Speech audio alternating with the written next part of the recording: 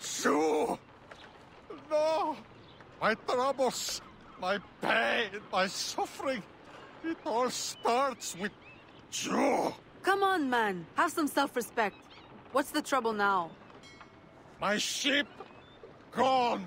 Money gone.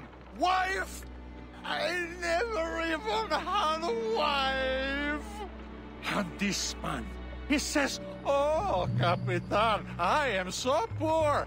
I am so generous. I lend him money. He buys a ship. He becomes rich. Now I go to him. I say, Oh, Capitan, I am so poor. And he refuses to pay me back. Quit your crying and clean yourself up. I'll take care of it. Oh, oh, thank you. But only if you sober up enough to make yourself useful.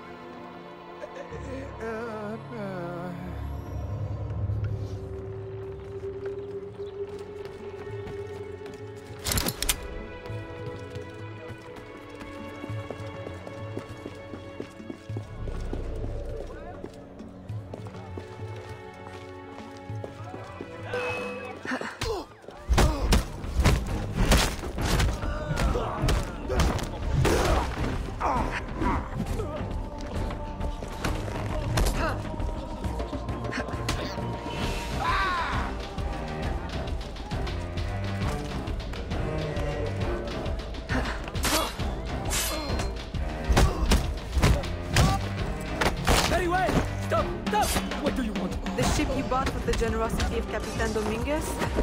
You won't be needing it anymore. I... Uh... Very well.